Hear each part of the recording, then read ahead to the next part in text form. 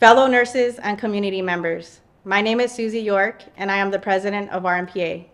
As a representative for almost 4,000 nurses in Santa Clara County, we began this round of negotiations with the hope for a change that is long overdue. We sought improvements to workplace violence, patient safety, and better working conditions. Our negotiations team made every effort the past seven months and left no rock unturned to try to get a strong and just contract for all of us. One that not only protects our rights, but also holds nurse and patient safety at its core. The county has continued to engage in unfair labor practices that jeopardize the safety of both patients and nurses.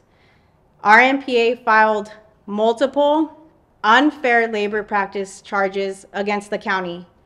One of those charges include manipulating the acuity, which changes staffing ratios and places county in violation of California law.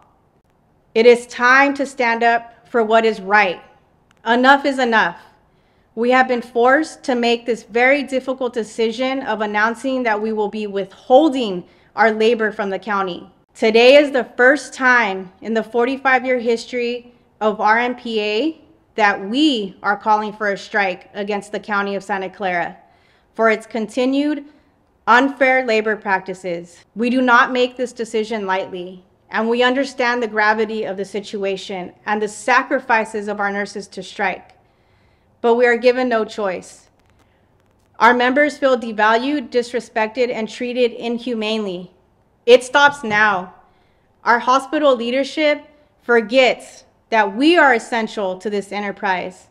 They continually treat us like pawns to be sacrificed because of their financial mismanagement and their failure to integrate the hospital after five years.